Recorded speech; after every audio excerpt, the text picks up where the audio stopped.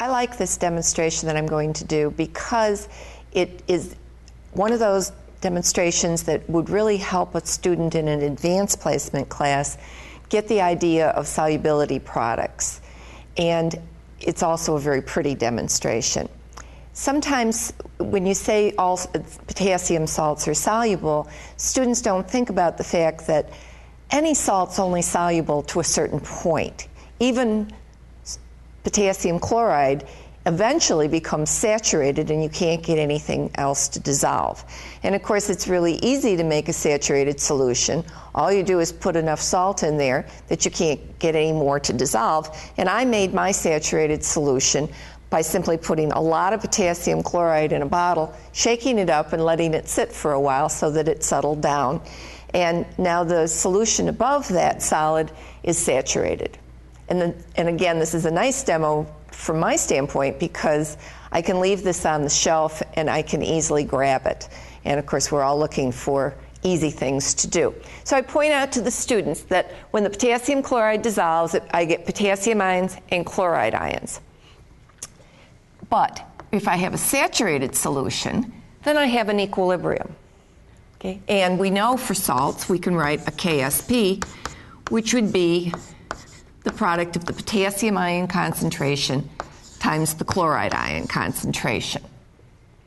Now, the table value tells me that potassium chloride, when it's saturated, is 3.7 molar. So if the potassium chloride is 3.7 molar, then the ion concentration, when that dissolves, it's 1 to 1. So the potassium ion is 3.7, and the chloride ion is 3.7.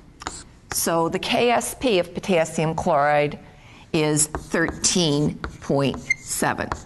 And you might point out to the students that I'm giving them a value at about room temperature, standard state, when I give them this number, and that solubility does, of course, vary with temperature as well. Right now, though, we're just going to look at the solubility of potassium chloride at room temperature. And I'm going to put gloves on because what I want to do is I want to add a common ion. And we've already studied equilibria. And we know that if we increase the chloride ion concentration, that we're going to increase the number of collisions with potassium chloride, we're going to increase the rate of the reverse reaction, and we ought to get more solid forming, right? Or, or the formation of a solid if we increase that chloride concentration high enough. So what I'm going to do is I'm going to put potassium chloride in one test tube.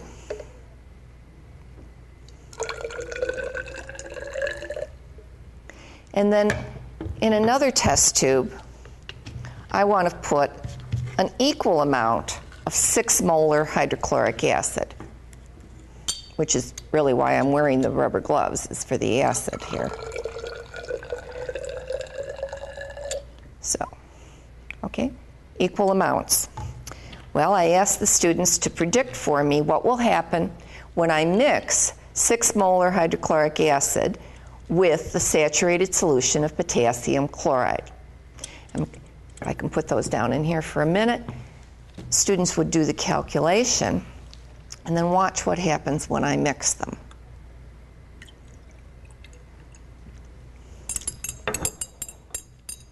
Now that wasn't very exciting, was it? Nothing. Hmm. What would this mean in terms of my calculations then? I've mixed equal volumes, right? So when I calculate the potassium ion concentration, if I've doubled the volume, is the potassium ion still 3.7 molar? No, it's half of that. It's 1.85 molar because I've doubled the volume. All right, what about the chloride ion concentration? Well, there's the original chloride that was in there, right? So that's also going to be 1.85 molar.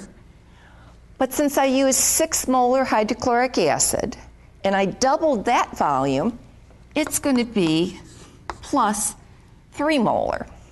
So the total concentration of the chloride ion is 4.85 molar. And we're really not doing a KSP here. What we're doing is a Q, a reaction quotient. quotient. So the Q for this is going to be the potassium ion concentration times the chloride concentration. Because remember, we're not at equilibrium. And the Q for this is 1.85 times 4.85, and that is, let me cheat because I usually do this with my students, 8.96. Well, the KSP is much larger than Q, right? Because 13.7 is bigger than 8.96, and we didn't get a precipitate.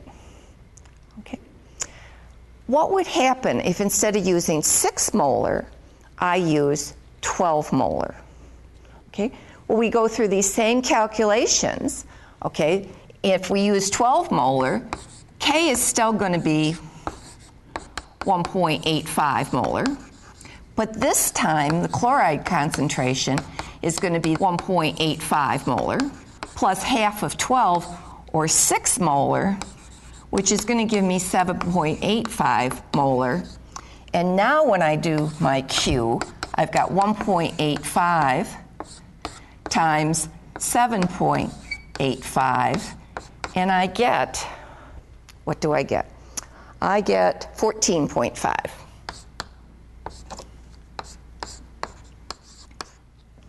And since in this case Q is greater than the KSP, okay, so it's 14.5 is larger, I expect I'm going to get a reaction. Let's see. I'm going to take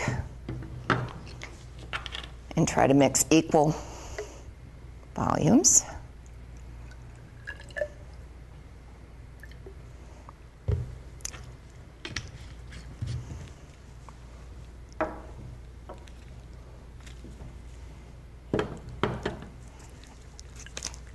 Yes.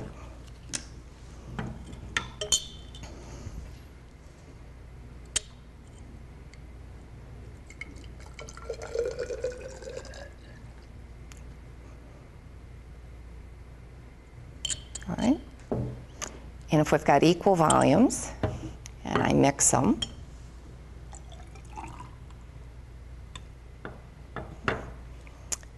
I don't even have to stir that. You see all the excess potassium chloride settling out because we've exceeded the solubility product at 25 degrees. So in this demonstration then with the students, we can reinforce the dilution effect. If you mix equal volumes, you've half the concentration. And they often forget to do that, but this will stick in their mind.